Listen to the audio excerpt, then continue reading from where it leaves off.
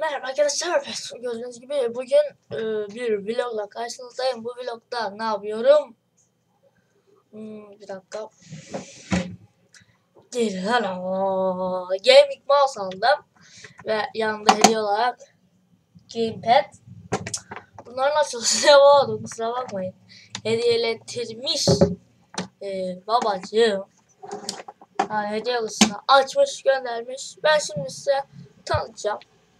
Evet, bunu. Şimdi önce şöyle şekil bir görünüşü var.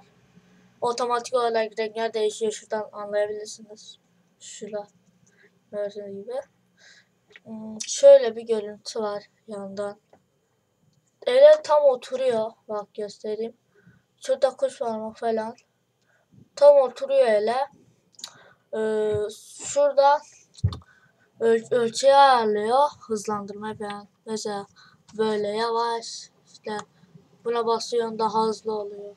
Daha yavaşlara. Şurada double click var. Çok hoşuma gitti. Şu double click. Ya çift tıklıyor ya buna. Onun yerine direkt double click'e tıklıyor. Şunlar var. Yanında ee, sayfayı ileri geri yapıyor. Çok rahat dokunuyorsun. Ee, öbür yan tarafta bir şey yok. Ee, şöyle kısa bir kablosu var. Çıkartayım. Renk gidecek ama. Bir dakika. Bir şeye takıldı. Çıkartayım. Heh. Şöyle kısa bir kablosu var. Kısa, kısa değil aslında. Normal. Ee, öbür mouse'umu yanına koydum mousepad'in. Mousepad bayağı büyük olduğu için yani burada 5 tane mouse olabilir. 5 değil de öbürünü gösteremiyorum. Bu ilkti HP. Şimdi bunu kullanıyorum. Gayet güzel.